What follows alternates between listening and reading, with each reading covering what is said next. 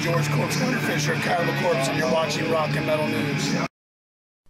Hey guys, this is Ron from YouTube's Rock and Metal News with a Rock and Metal News update. DevilDriver have stated their new release will be a double album and the recording is now over. The album should be out later in 2020. No specific release date yet.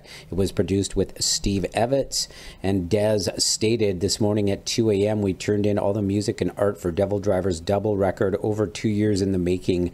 Now I can breathe. What a nice weekend. Uh, this will be, and I was greeted with rain this AM as well for the win. Happy Friday, everyone.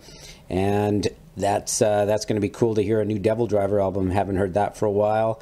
And Incubus, they're set to release their new single titled Our Love. It's going to be out soon, be out on January 31st, and they're going to have a video as well.